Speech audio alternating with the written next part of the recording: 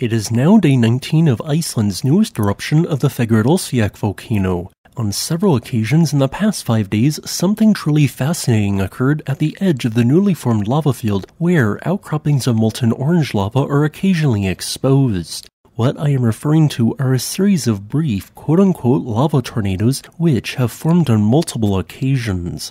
One was observed on July 22nd, with a second one briefly occurring at the same time, and a third feature observed on July 25th. These rotating columns had a brownish color and hovered over the eruption site for seconds to minutes at a time. Yet, if we look upwards of the sky, we can see that it was mostly cloudy with no clouds you would associate with powerful thunderstorms or storms capable of generating a tornado, as these were not a true tornado but rather what is known as a whirlwind. Whirlwinds develop due to upward rotating columns of hot air, hence why they often form what are known as dust devils in deserts. In this case, the dramatic temperature jump between the cold Icelandic ground, which is probably around 5 degrees Celsius, and 1200 degrees Celsius lava flows caused air to rise above the lava. The colder air then rushed into the spot previously occupied by the warmer air, causing it to rotate. Although this did not occur in this case, lava whirls have the potential to break the thin crust on various lava flows and fling them high into the air, throwing them in some instances hundreds of feet away, like seen at this footage from the Kilauea volcano in Hawaii. Although not exactly common, this hazard is one reason why people are meant to keep away from right next to the lava flows, hence the current exclusion zone. In the last three days, the eruptive rate of the primary event has continued to decrease, but I would still estimate it to be ejecting molten rock at a rate of approximately 6 cubic meters per second.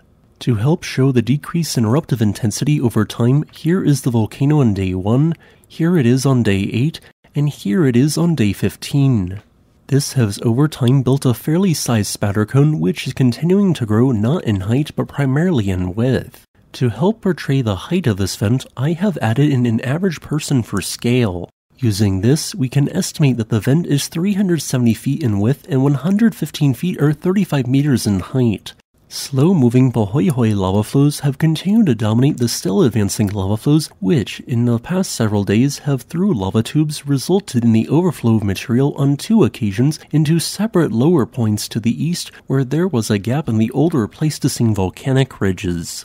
Despite the slow output of the eruption, more than 14 million cubic meters of lava has now been produced. Since the eruption is now in its 19th day, it has matched a threshold. It is now the same length as the 2022 eruption in the Meradalir Valley. Thus, if the eruption just northeast of Litli Hrútur is still ongoing on July 29th, it will be officially longer than the 2022 eruption but this would still be significantly shorter than the 184 days the 2021 eruption lasted for.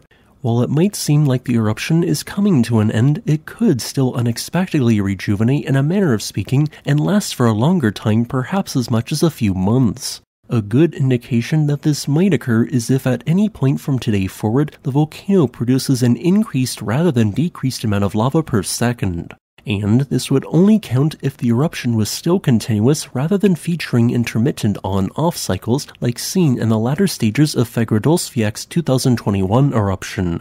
Thanks for watching. If you would like to request a specific topic, please leave a comment below. Additionally, I would like to thank this channel's patrons on Patreon and channel members on YouTube.